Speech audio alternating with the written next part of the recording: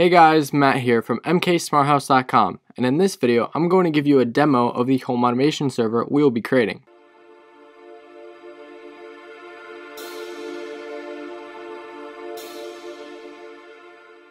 So the point of this demo is to show you the home automation server in action as well as how it all works. Also, please go ahead and press the like button because of all 5 videos in the home automation server series, hit 200 likes, then I will release the videos on how to actually use OpenHAB 2 sooner than it is scheduled. Anyway, the first thing I will show you is the device in action. So as you can see, here it is, and it is mounted on the same wall as the network.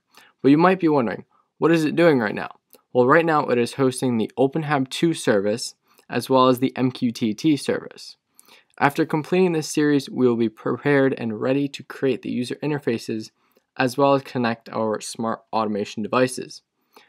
Now let's talk about how it all works. To start off, the entire thing is running on a Raspberry Pi. In this case, I am using a Raspberry Pi 3, but this will work fine on a 2 as well as any more Pis in the future. Next up, the storage for the Pi is a 32GB SanDisk micro SD card, class 10 of course, for the extra speed. The Pi is being housed in a clear acrylic case with a fan built in but the fan does not do the cooling on its own. I have also installed a heatsink, which with the fan is pretty good cooling. The Pi is being powered by a 5 volt 2.5 amp power adapter that is UL certified, which is important for power stability. The actual Pi is connected to the network via a green Cat6 cable. We will be installing the software onto the Pi using either a Mac computer or a Windows computer, which each have their own video, so when you do it, make sure you watch the right video.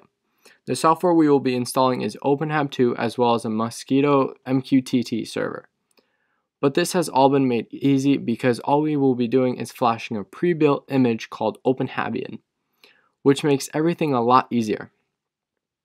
To actually configure the Pi, we will be using a combination of the web browser and SSH, but the entire software process will be explained in its respective video.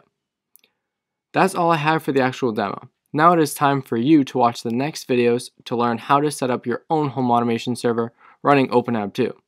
Alright, thank you for watching, and if you have any questions, leave them in the comment section below, or head over to the mksmarthouse.com slash forum, where you have a better chance of it getting answered. Goodbye.